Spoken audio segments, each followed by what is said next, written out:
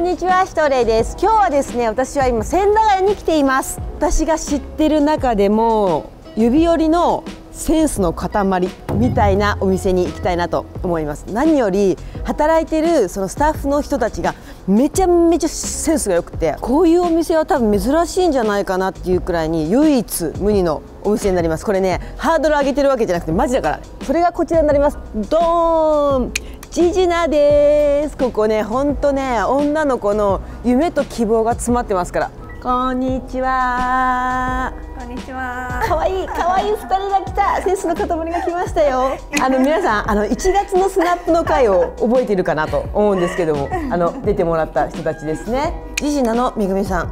あこちゃんはロキエのあこちゃん去年の9月でしたっけ？ここに移転オープンしたの。そうですね。去年の9月に青山から引っ越してきました。早速なんですけど、ジジナのコンセプトみたいな、世界中のものをあのパッチワークみたいにつなぎ合わせて、まあ一つのこの世界観を作り上げるっていうのでうんやってるので、有名な方のもあるし、まあまだそのデザイナーこれからの方もいらっしゃるし、んうん。そういうなんかいろんな世界観のものといろんな思想の人の作っているものをこうつなぎ合わせて、皆さんにこう発信していきたいっていうのがあるので、でこっちが一応ジジナでももう一つあっちの部屋があるんですけどそっちがコモンプレス。はい、そちらはコモンプレイスという。そっちはまあライフスタイルっていうかその生活を提案するっていう感じになってるので、でそのコモンプレスの中にあこちゃんのロッキーのショップインショップみたいな形で、あこちゃんセレクトのいろんなものが置いてある、そうです。みたいな感じなんでそれはちょっと後半見ていきたいなとはい。思います、じゃあ早速なんですけどお洋服、お洋服今めぐみさんの推しは？一番最近ホットなっていうか、最近ちょっとうちで展開始めたばっかりのアーティストが、ほう。えっ、とフロリダのアーティストでフロリダなんだ。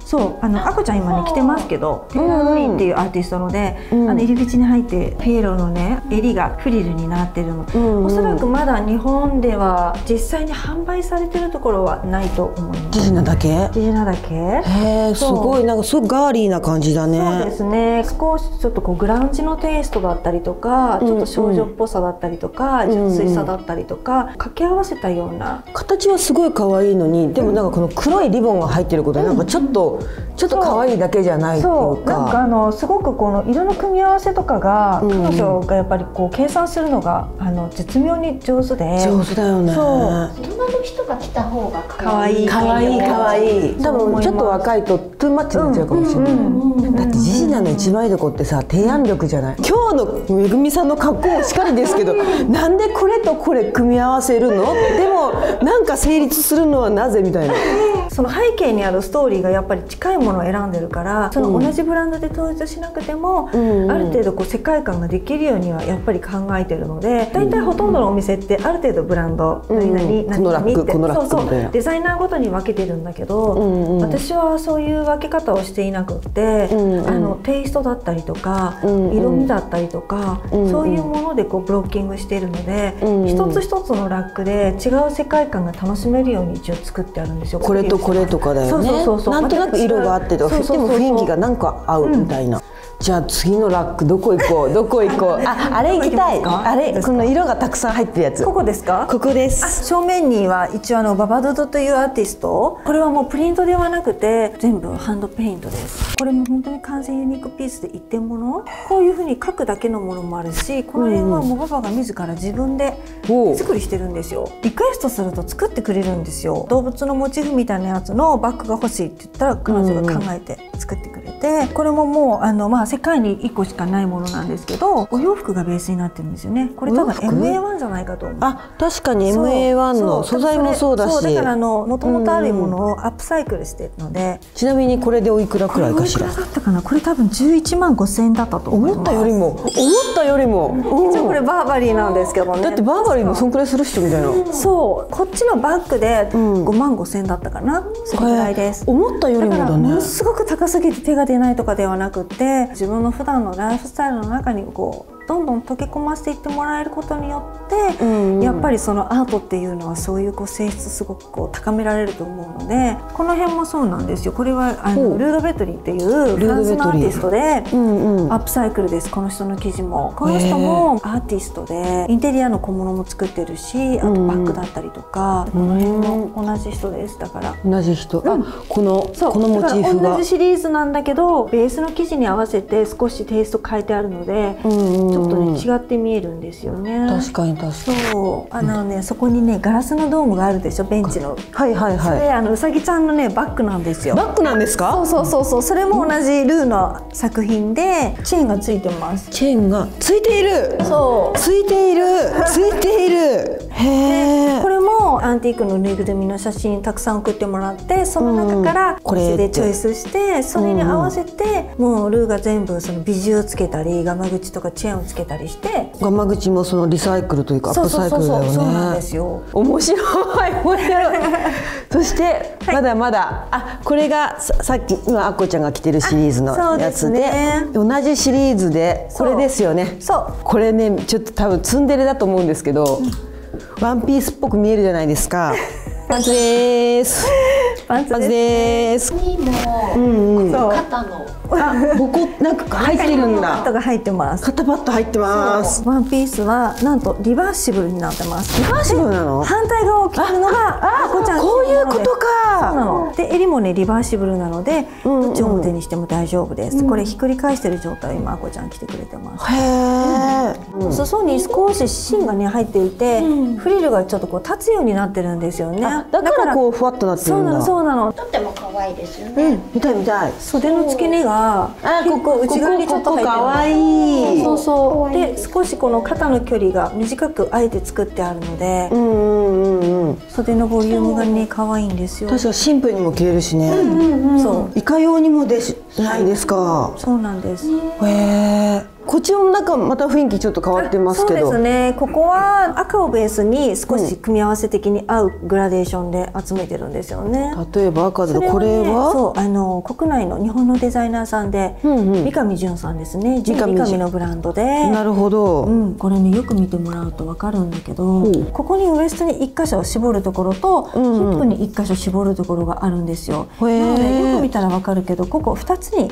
分かれてるの本当だ。かります？わかるわかる。だから結構着るとハイウエストになるんですよ。ここぐらいにギューって絞れるようになってるのでここがフリルのように見えるようになっててこなるほどなるほど。こうなるわけだ。なんか形はちょっとやっぱりアーミー系のパンツなのでちょっとミリタリーのテイストがあるんだけどフェミニンフェミニンな感じも出るのよ。これに合わせるんだったらじゃあ？これはミカエラっていうアーティストなんですけど。ミカエラ。うん。うんうん。こういう感じのああなニるほどねットとかと合わせても可愛いかなと思います。そのニットはねちょっとジャケットっぽい作りになっていて真ん中が下がってるんですよ。でフランスの伝統色を糸に使うようにしていてなのでなんかちょっと懐かしい感じもあるし新しい感じもあって、確かにほっこりしてるけど形結構アバンギャルドっていうかねそうなんです。なので意外となんかいろんなものに組み合わせしやすいですかね。あこれもなかなか、これねこれねなかなか？なんですよ。なかなか？後ろがねハートになってます。バカ好きこういうのこういうの好き、可愛いですよね。うちのお店ではなんか逆にこういうのをあんまり女性っぽくなりすぎないようにこれはライトっていう国内のブランドのうんうん寝袋の形をしてるコートなんですけどね。だって手までついてるもん。そう。ここまでスリットが入ってるんですよ実は。おお閉じると下まで閉じれるんだけど、んうん。結構開けれるので中にこういうすごいドラマティックな色着てたら、ドローンってドローン横から少し見えたりするので、んうん。あえてこういう真っ赤をちょっとこう隠してるような着方するのもすごい可愛いかなと思います。確かにちょっと差し色。歩いた時に分かるみたいな、そう。あとはもうなんかね一個一個ねがね癖があるんですよ。癖しかないみたいな。ぶっ飛んでる感じのイメージが強いので、んうん。なんかこういうニットとかと合わせても意外に可愛いですよ。これねアムステルダムのアーティストでこういうニットなんですね、この牛裏地も可愛いねボーボーしてて。そうなのそうなの。毛ボーボーですよ。そうなの。で私はなんかこれを裏返しにして着るのもすごく可愛いなと思っていて確かに確かそうになんです。このボーボーが。で後ろから見るとこういう感じ。どうして派手に派手を合わせて落ち落ち着くの？ちょっとこうスクールガールっぽい感じの組み合わせ、うんうんうんうん、うん、ちょっとこう田舎臭い感じにあえて。こっちは？ジェニファックスですね。なるほど、はい、こっちはここがねクラシカルというか。アイドルみたいなテイストが好きなアーティストなんで、これに合わせるのであれば、同じジェニファックスから、うんうん。あのブラウンのちょっとダメージ加工のソフトデニムのジャケット。おおこういう感じで確かに甘甘々がちょっと抜けるね。うん、でちょっとビッグシルエットのジャケットなので、んうん。なんかあえてもこの大きさ強調するみたいな。で、んうん後ろから見るとここがちょっとセーラーカラーみたいにあー後ろかわいそうなんでいすよ。でブラウン系で統一してあるので、んうん。もう足元も結構こういうヌーヌーリーな色。うんうん。で全部統一してなんかいろんなテイストが混ざってるけど、落ち着いた。と思います。うんうん。でななんでも落ち着くの？ね。ね。えねえ。ねえ。めぐみマジック襟が白なので今ここにはないけど、なんか白いソックスがちょっとズルズルってブーツの間から見えてても可愛いと思います。あ絶対可愛い絶対可愛い。はい、そういう着方も。じゃあめぐみさんこっちのラックは？ポルトガルかな、んうんうん。ユリアっていうアーティストでちっちゃなプリーツ加工してるんですよ。確かに。で崩れないんですよ。でお家の洗濯機で洗います。洗います私がすごい共感できるところは、んうん。あのこういうのもそうなんですけど日本でいうあの絞りってあるでしょ？着物の。うんうんうん。あの絞りと同じ技法を使ったものがあったりだったりとかして彼女はもう柄と柄の組み合わせをうんうん。もうずっと提案してるんですね。まあこういうものにこういうものを合わせちゃったりとか。不思議だね。なんか合うね、これは何ですか？あの大沢夏美さんというアーティストで、国内の日本のアーティストさんなんだけど。アップカミングの人だよね。そう。あー。これね見てもらったらわかるんですけど、んうん。袖の部分は古い着物あです。本当だ本当だ。着物の生地だ。の生地をアレンジしてこれドレスを作ってもらってるんだけどじゃあこっちもジジナのための一点物というか。そうそれこそあこちゃんかぶってるみたいなキャップ、うんうんうんそうなんかねキャップとかと合わせたらすごい可愛いと思うんですよね、こういうのになんかあのバックパックっていうかあーかわいいそうそういうそうそういう。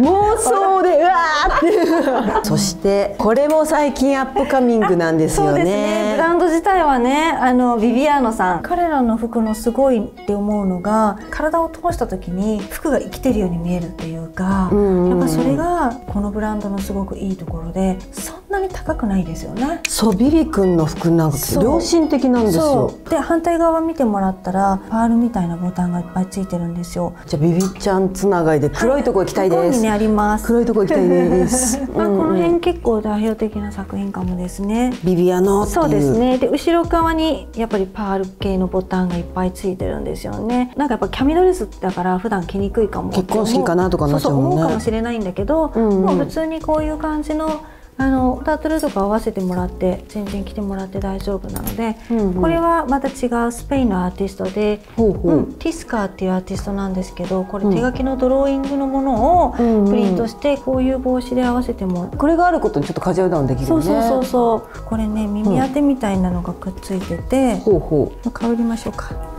あ、可愛いやつ、可愛いやつ。これ、これなんで穴開いてるかと思ったら耳か。そう耳聞こえるように。デザインの一部でんうんこうやってかぶったり、可愛い。これかわいいこれ可愛い。これ可愛い。そう。確かに切れはそんなもんかも。そうで下ろしてみるとこんな感じでもいいですね割とだね。そうすごく可愛いんですよはい、じゃあ次は雑貨はいそうですねのコモンプレイス。はい隣にあるんですけど行ってみたいと思います。あ、確かにあの光変わってるって言ってたのこういうこと？ちょっと黄色みがあるというちょっと黄色うん黄色いか。明かりでインテリアだったりとか、これまあクッションとか。そうそうそう確かにしかもこのクッション。